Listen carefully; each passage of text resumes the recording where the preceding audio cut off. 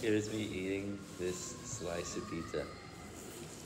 Now this is half of the gummy pizza that was mini size, so it would have been around.